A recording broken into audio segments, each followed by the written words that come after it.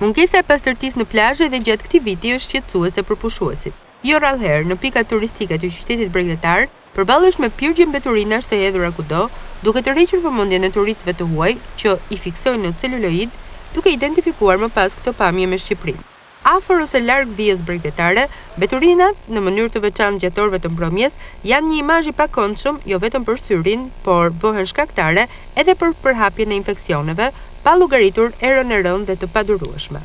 Në plazhin e madh të Durrësit, siç njihet nga vendasit, numri i pushuesve kosovarë edhe gjatë këtij sezoni turistik është i lartë. Megjithëse pranojnë se do të vinin për të kaluar pushimet përsëri këtu, pasi janë shqiptarë, mungesa e pastërtisë, ku përfshihet edhe uji i detit, i shqetëson.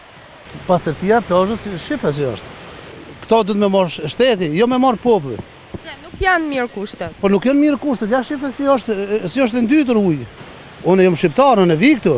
Po një gjerman, amerikani, tjerët nuk vijnë më... Po një herë vjen e ta sheh këtë bërllok këtu. Kurrë ma nuk vjen. Ajo mu më shqetëson. Se unë si shqiptar gjithmonë vi këtu.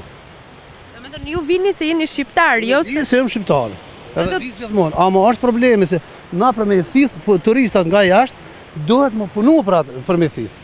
Se gjermani vjen e ta shef këto, nuk, nuk vjen më. E këtu është qëllimi. Pastërtinë ta majë shteti, jo populli. Ja shif dhe thotë kjo pronë private. Zotni, Kjo nuk o pronë private, kjo është e shtetit. Ky, ky ujë nuk është i, i një privatniku, s'mun e man. Këto duhet ta majë shteti. E aty është qëllimi.